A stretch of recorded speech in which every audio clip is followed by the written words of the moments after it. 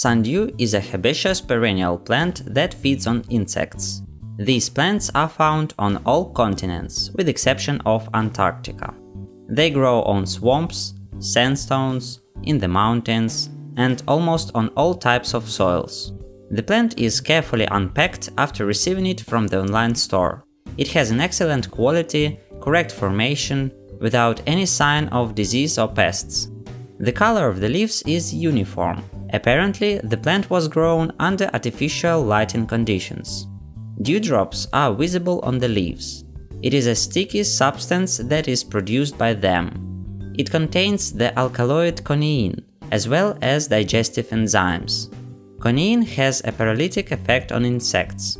The pot is marked because the plant negatively reacts to a change in orientation related to the light source. The label will serve as a reference point for further cultivation, especially if the plant will be moved from place to place.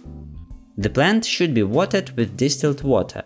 Watering can be done from the bottom or from the top of the pot, using watering can. During the summer, sundew was kept in the open air and in the temperature range from 10 degrees to 45 degrees Celsius. All further care was consisted of periodic pouring of water in a saucer.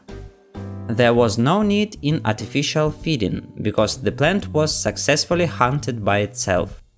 All species of sundew are able to move their tentacles in response to contact with edible prey.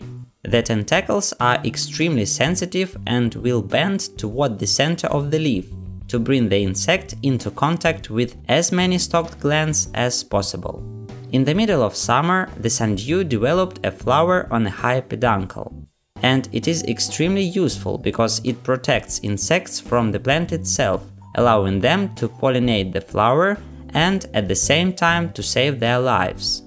So if you like this video, subscribe to our channel if you are not already and hit on the like button below. I wish you good luck and see you in the next episode.